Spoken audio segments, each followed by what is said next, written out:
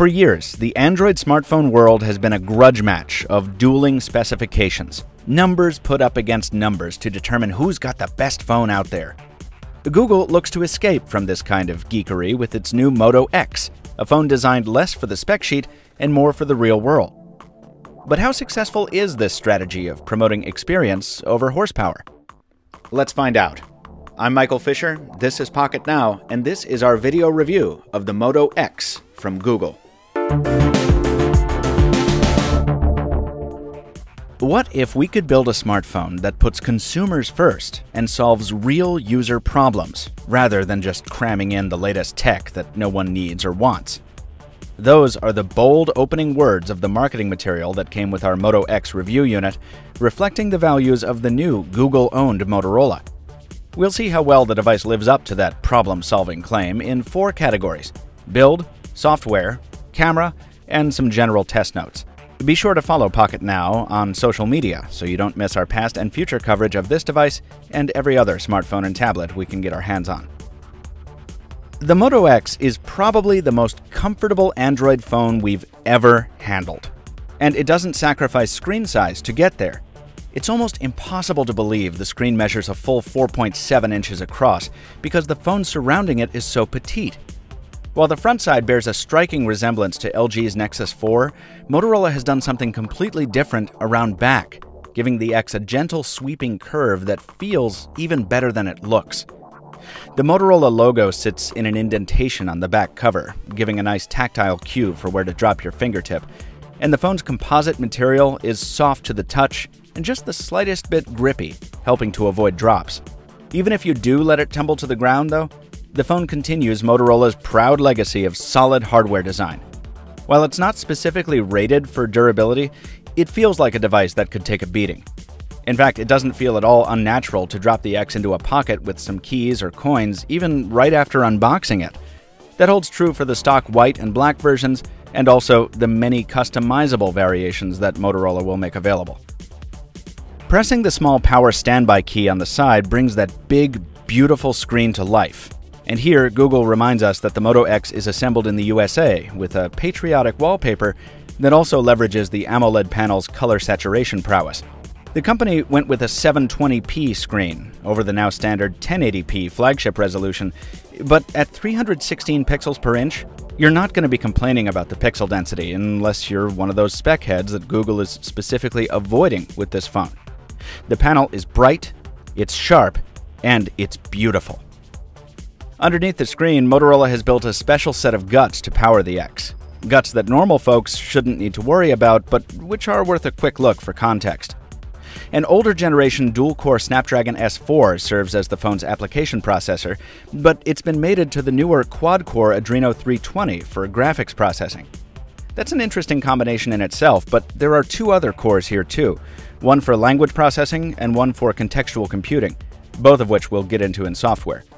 Motorola calls the whole arrangement the X8 mobile computing system, and it's protected by the company's splash resistant nano coating and backed up by 2 gigs of RAM and either 16 or 32 gigs of onboard storage. Sadly, there's no ability to expand that memory capacity with a microSD card, but Google is offering 50 gigs of free Google Drive storage to Moto X buyers, which should soften the blow somewhat. While our Moto X is running a straight from Google build of Android 4.2.2, this is no Nexus device. Motorola has included some significant customizations here, all of them intended to make the phone more useful to the average consumer. Probably the most eye catching feature, and the one you're most likely to show off to your iPhone toting friends, is the Moto X's touchless control. Here, the phone uses that dedicated linguistics processor to constantly listen for a trigger phrase, so that even when it's sitting on standby, either in a pocket or in your palm, it'll wake up to take a command when you say, OK, Google now. That key phrase is a little cumbersome, and no, you can't change it, but using it will let you do things like set alarms, call friends, ask for sports scores or weather forecasts, most of which we're already used to seeing from Google Now's voice interface. It works well enough, but touchless control isn't quite as impressive as it could be for a few reasons. First, it requires a data connection to function. So if you're in the boonies or an overloaded network, it's not going to deliver good results at all. Secondly, it doesn't always respond to the catchphrase the first time around, so you need to say the phrase pretty much exactly in the intonation you used when you trained it, like old school voice dialing. Finally, and most crucially, Google Now's voice commands just aren't powerful enough to make this feature useful in a wide swath of situations. If you remember to talk to it like a robot, it'll work well. Liquor stores, Mattituck, New York, or kayak rental, Greenport. But using more common phrasing like, I'm in the mood for pizza, or take me home, won't get you anywhere. Until users can speak to Google Now in a friendly, casual manner and get something more useful than, How tall is the Empire State Building? This isn't going to be nearly as valuable or as enjoyable as it needs to be to see widespread use. Touchless control is also baked into Motorola Assist, a small feature that uses the phone's contextual awareness to determine when you're driving, or in a meeting, or asleep, and it tailors notifications to match that situation. Of these, the driving mode is the most interesting, with the phone able to read your incoming texts aloud if you want to hear them, so you don't need to take your eyes off the road. Sadly, you can't respond by voice dictation automatically. The phone just gives you the option to reply with a canned away message. Again, this is functionality that would make the service much more useful, and we wish it was included. Active Display is the last feature we'll cover here, one you'll use more often than either of the above. It detects when the phone is removed from a pocket or flipped onto its front side, and it pulses a quick summary of any notifications you've received, allowing you to act on them, dismiss them, or just unlock the phone as usual. Its interface takes some getting used to, but it is quite handy once you get a feel for it, almost making up for the lack of a notification light.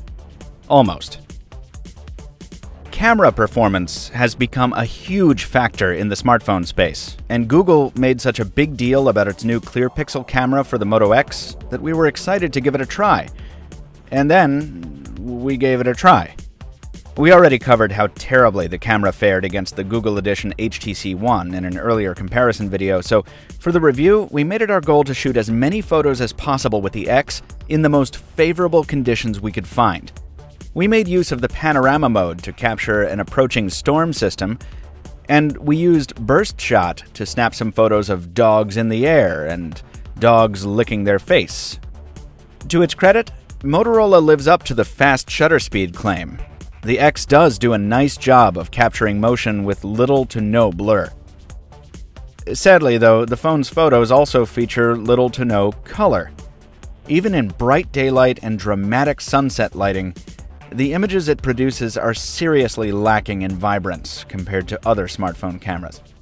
There's a gray pallor over almost everything, and even highly saturated scenes are washed out through the X's vision. This dockside view was dominated by a lush and verdant green in real life, and these flowers are actually brilliantly yellow to the eye. But the X's camera just saps the life out of them. We found that tweaking the HDR mode helps a bit in some circumstances, but if you're looking for a camera that'll deliver well balanced and beautiful photos with no hassles, this isn't it. That's a shame, too, because the Viewfinder software is so simple and well thought out, and even innovative with its shake to activate function, that it deserves a camera that lives up to that experience. In the video arena, the phone defaults to 1080p at 30 FPS, with a record button always present in the viewfinder so you don't miss an opportunity for a quick video. You can capture a nice sunset with it, and images are actually pretty sharp and well defined. But once again, you're not going to see the kind of vibrant colors that you should be in most situations. The video camera's real advantage isn't exactly rare, but it is fun you can shoot at 60 frames per second at 720p, resulting in some really smooth slow motion video. There's no sound recorded in this mode, but it doesn't matter. High speed video is fun no matter what, and Motorola was right to join other manufacturers in building it in here. In sum, this camera will deliver a fun and easy shooting experience with its simple and enjoyable viewfinder, and on the phone, the results it puts out look pretty good on the bright and saturated AMOLED screen. Send the pictures to friends, though, and the snottier ones will be wondering if you remembered to take the protective film off the lens before you started shooting. We tested the Moto X over the course of four days in rural New York State, alternating between 4G LTE and 3G coverage on AT&T. Our network experience on eastern Long Island wasn't nearly as impressive as it normally is in Boston, and our time on 3G brought back a lot of bad memories. Fortunately, the Moto X will be available on every US national, so you'll be able to pick what carrier is best for you where you live and work. Even more fortunately for the Moto X, Motorola's 85 years of experience have resulted in a voice calling experience that's second to none. Calls are very clear on our end, with rich side tone and wonderful sound through the earpiece. Even more impressive, callers said we came through wonderfully on their end as well, with Motorola's Crystal Talk noise reduction making us audible even over blowing wind through a car window and even over the roar of a boat engine. We wish the phone was a tad louder in speakerphone calls, but we wish that about every phone. If voice quality is important to you, the Moto X should be at the top of your smartphone list. In terms of endurance, Google's claim of 24 hours of mixed usage time with the Moto X is bold and a bit overblown. We were able to use the Moto X pretty aggressively without seeing battery charge plummet, but we were only able to get to about 12 hours of moderate to heavy mixed usage on its special embedded 2200 mAh battery. Your mileage may vary depending on coverage and how often you're firing up that camera, but you're probably still going to need to charge the X every day. Thankfully, whatever software optimization Motorola has made to get that endurance up hasn't affected the UI responsiveness. The Moto X has been consistently fluid and responsive during our entire time with the device. The Moto X will go on sale for a suggested price of 199 on contract, and it'll be on most US carriers by the beginning of September. That price is in line with many other flagship devices, despite the lower horsepower of the X, and it's a further indication that Google is trying to change the conversation from specs to experience. In that respect, the X almost delivers. The inconsistent usefulness of touchless control and the underwhelming camera have us wishing this phone was selling for a bit less. On the flip side, though, the simplicity and responsiveness of this clean build of Android on hardware that's at once comfortable, beautiful, and hugely customizable means this is a phone we definitely recommend to first time smartphone buyers looking to get into Android. So, while it is a bit overpriced, in our opinion, the Moto X is also a fine smartphone and a respectable first step to rebooting the Motorola brand. We give it an 8 out of 10. Folks, we have a full written review on the Moto X coming on August 7th at Pocket Now. Visit us at pocketnow.com to see that. Also, be sure and check out our comparison videos, feature tours, and editorials, both here on YouTube and at pocketnow.com. Leave us a comment down below if you have some feedback, and toss us a like if you enjoyed the video. And as always, thank you for watching. We'll see you next time.